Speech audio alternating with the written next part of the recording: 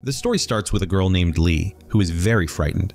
She keeps telling the police that a bus will soon have an accident and everyone on it will die. But before the police can understand or act, the bus number 45 explodes on the road, killing everyone inside. The big question is how Lee knew about the explosion, then suddenly finds herself on bus again before the bus exploded, looking terrified. A passenger named Sam tries to comfort her by offering a tissue paper, which somehow gives Lee an idea. She falsely accuses Sam of inappropriate touching her and demands the bus to be stopped and to call the police. Sam is shocked and denies doing anything, and other passengers mention that the police station is on their route. She then tries to convince other passengers to get off the bus with her to testify against Sam, but no one agrees. Eventually, Lee forces Sam to get off the bus with her. As soon as the bus drives away, Lee apologizes to Sam for lying about the accusation. After the incident, Lee starts to leave the scene, feeling scared. Sam is confused about why Lee accused him falsely and decides to take a cab to his office. Just as Lee is about to call the police again, she hears another explosion from the bus. At the same time, a scooter hits her, and the next thing she knows, she wakes up in a hospital. There, she learns that Sam, who had taken a cab, was also caught in the blast and is now critically injured, facing the possibility of death. Meanwhile, a police officer named Chen is investigating the bus accident. He discovers from security footage that Lee and Sam had left the bus just before it exploded. Chen goes to the hospital to talk to them. When he asks Lee how she knew to get off the bus before the blast, she starts explaining everything from the beginning. Lee shares that that morning she had taken bus number 45 to go to a bookstore and had fallen asleep next to Sam. During her journey, Lee hears a phone ringtone, and moments later, the bus explodes, killing everyone, including herself. Surprisingly, after the explosion, she finds herself back on the bus, confused about whether she has traveled back in time or if the explosion was just a nightmare. However, the situation repeats itself with the ringtone followed by another explosion, leading her to realize she is trapped in a time loop where the bus explodes every time, killing all the passengers, and then resets, sending her back to the start of her journey. Each time the loop resets, only Lee remembers what happens next, while the other passengers have no memory of the previous events. In subsequent loops, Lee tries various methods to stop the bus and warns everyone to get off to avoid the explosion, but no one listens to her. The cycle continues with the bus exploding at the same time, resulting in everyone's death. Eventually, Lee discovers that the cause of the explosion is a collision with an oil tanker while the bus tries to avoid a scooter on the road. When her warnings are consistently ignored, Lee resorts to falsely accusing Sam of inappropriate behavior in an attempt to divert the bus to the police station. But even this plan fails to convince the passengers. Upon hearing Lee's story, Officer Chen finds it hard to believe. Meanwhile, Sam, who had been receiving medical treatment, dies but then also awakens before the accident on the bus, indicating he is now part of the time loop and has memories of the events. When Sam questions Lee about their situation, she realizes he is also aware of the loop. This revelation brings Lee some comfort, knowing she's not alone in her knowledge. However, Sam, overwhelmed by everything, decides to leave the bus quickly, only for the cycle to repeat with another explosion. Both Lee and Sam then find themselves waking up, moments before the disaster once again. Sam and Lee both take turns trying to convince the bus driver and passengers to stop the bus, but, like Lee's previous attempts, no one believes them. In one of the loops, they decide to sit quietly and discuss their next steps. Lee theorizes that Sam remembers the loop because in one of them she had forced him off the bus early on. Since the bus explodes near a flyover due to a collision with an oil tanker, they focus on delaying the bus to prevent it from reaching the spot of the accident. This time, they successfully warn the driver about the scooter rider, ensuring his safety and avoiding the collision with the oil tanker. They celebrate, thinking they have broken the loop and saved everyone on the bus. However, as the bus crosses the flyover, Lee hears the ringtone again and the bus explodes, killing everyone. This realization shocks them. The explosion wasn't caused by the accident with the oil tanker. Understanding that the bus must have a bomb, they quickly get off and call the police to report the bomb on the bus, hoping to save everyone. Yet the bus explodes again. Officer Chen suspects that Lee might be involved in planting the bomb due to her prior knowledge of it. As a result, the police start tracking down Sam and Lee's location using the information from the call. There on the bridge, Sam and Lee finds out that every time when time resets, they travel back in time one minute, giving them extra time to stop the blast. Faced with no other option, Sam suggests they explain the time loop to the police, even though Lee has tried and failed to convince them in previous loops. When the police arrive, they take Sam and Lee to separate interrogation rooms at the police station, questioning them on how they knew about the bomb. Sam decides to tell the truth and tries to explain the situation, while Lee, knowing from past experiences that the police won't believe her, chooses to remain silent. Consequently, the police decide to conduct a drug test on both of them. During the interrogation, it's revealed that Sam is a game architect working for a private company, and Lee is a college student. Before this incident, they had no prior acquaintance. The police find it suspicious how they both got off the bus together. In the absence of other witnesses or evidence, the police decide to charge Sam and Lee with the bombing. Meanwhile, Lee fell asleep. When she wakes, she discovers that sleeping transports them back to the bus before the blast. They realize that to end the time loop, they must prevent the bomb which is in the bus from exploding. Determined to find the bomber among the passengers, believing the bomb could be hidden in someone's bag, they decide to investigate. In a bold move, Lee starts screaming about a bomb on the bus, triggering a passenger to detonate the bomb prematurely in the next loop, confirming their suspicion of a bomber among them.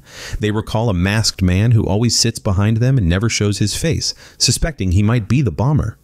As with every loop, they go one minute back in time. They gets off at the bus station the masked man originally boarded and calls the police. While Sam avoids being captured by the surveillance cameras, he is frustrated that Lee acted without confirming their suspicion. Following Lee's call, Officer Chen blocks traffic to intercept bus number 45. They board the bus and find the bomb, but it's too late to prevent the explosion. The bus explodes and also kills some policemen. Witnessing the failed attempt from a distance, Lee suggests to Sam that since he wasn't seen by the cameras, he should go home and await police investigation. And anyway, as soon as they sleep, they have to time travel again. After being taken into custody by the police, Lee finds herself under investigation. Lee consistently tells the truth at the police station, but they didn't believe her. So she provides names and details about the officers involved in the case, which surprises the police. They had already realizes that with Lee, Sam had previously exited the bus, prompting them to start looking for Sam. Meanwhile, understanding the need to reset the loop again, Sam decides he must fall asleep. After failing to obtain sleeping pills without a prescription, he resorts to drinking alcohol until he becomes intoxicated. The police find him in this state and take him into custody. By this time, Sam falls asleep, triggering the reset of the loop. They focus on the man with the mask. Pretending to engage in a fight as a distraction, they try to snatch his bag. However, their plan fails, and the bus explodes once again.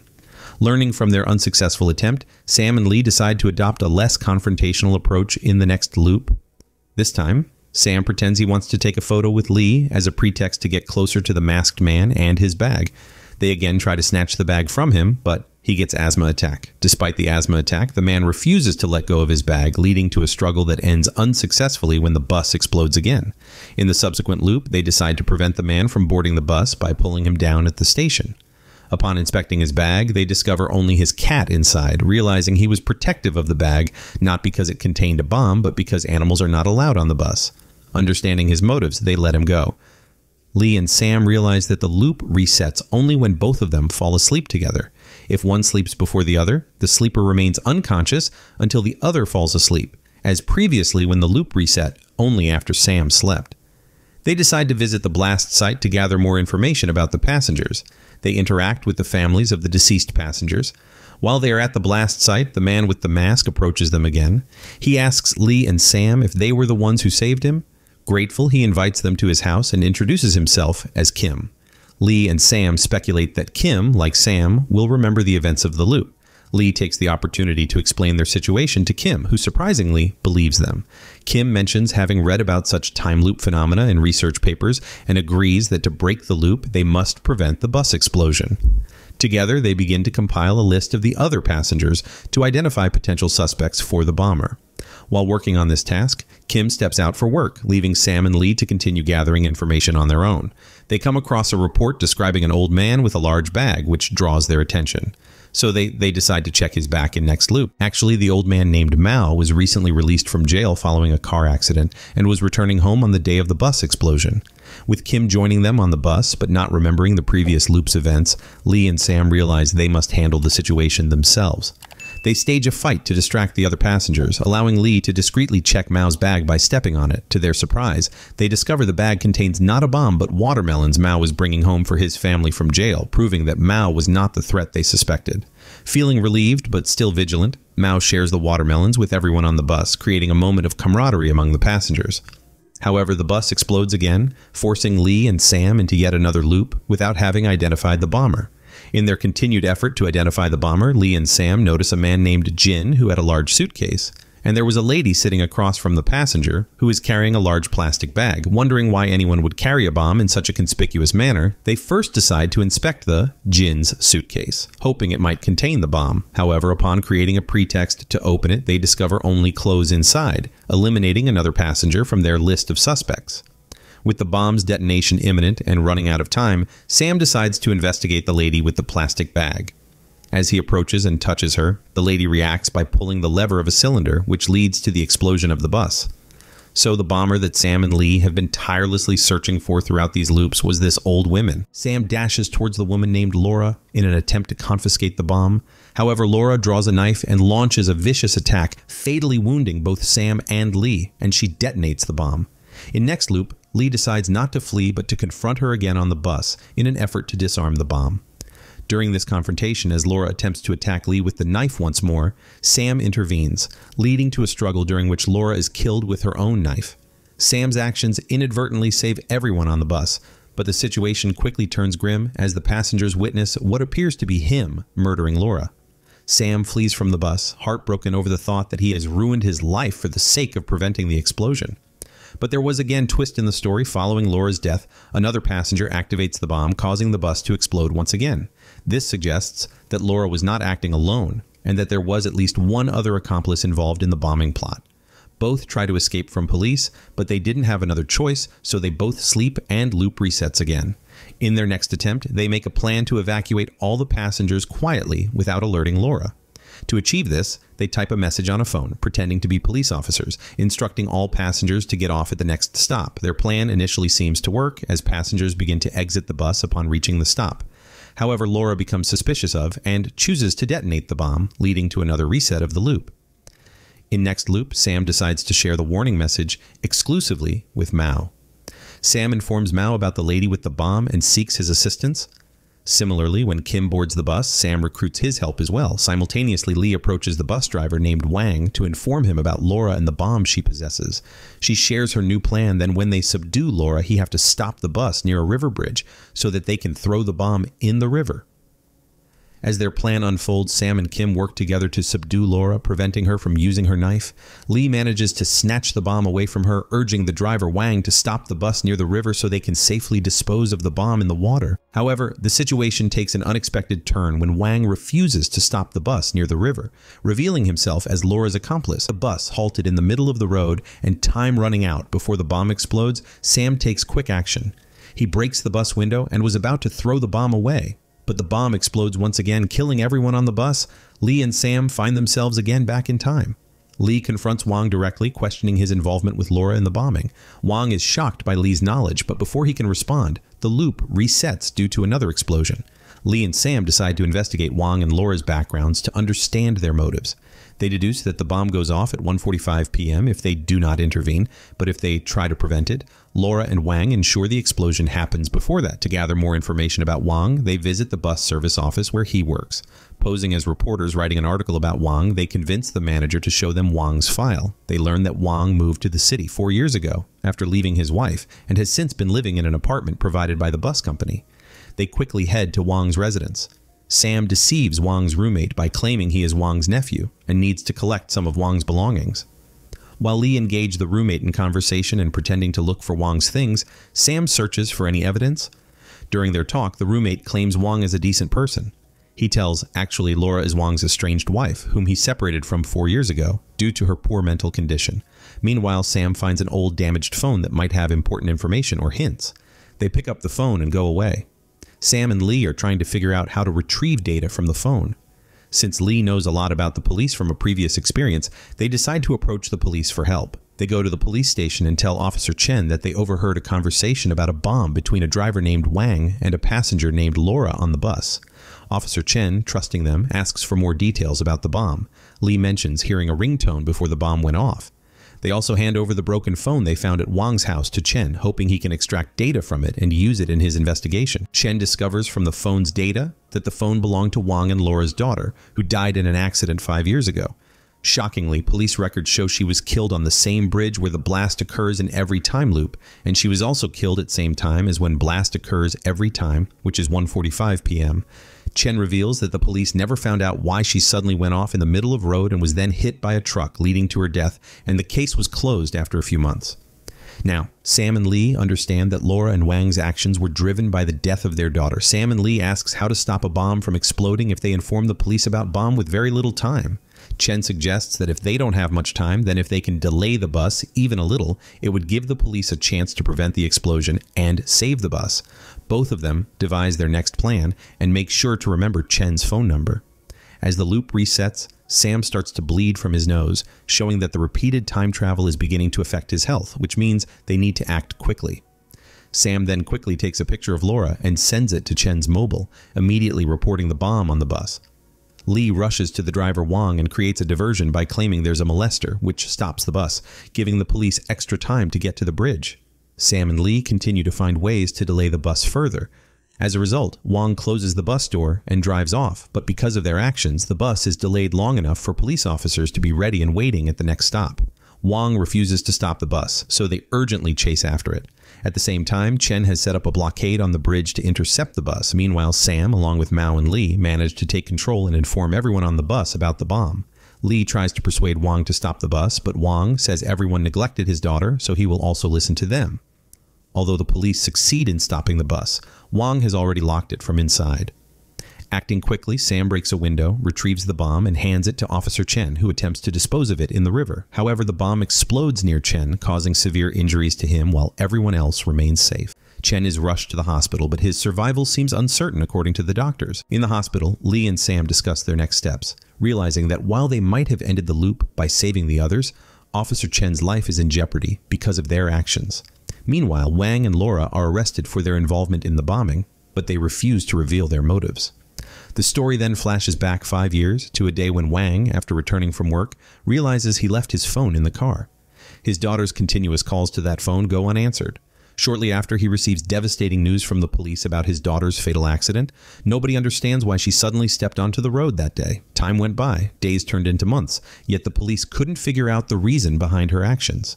Eventually, they closed the case related to her death. Following this, both of her parents began to suffer from mental distress, but one day they got a video in which someone was molesting their daughter, and both of them understood why their daughter ran on the middle of the road that day and was killed. Driven by their despair, they decided to end their own lives. Wang began working for the bus company, and Laura started making bombs.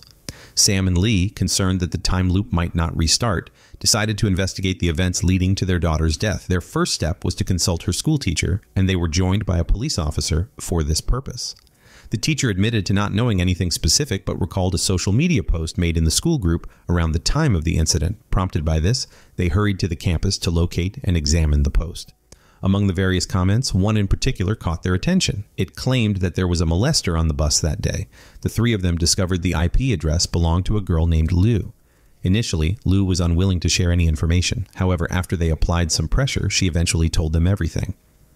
The story then takes us back five years to a day when a man was intentionally harassing Wang's daughter. Liu, witnessing this, recorded a video of the harassment. However, when the man realized he was being filmed, Liu, out of fear, left the scene.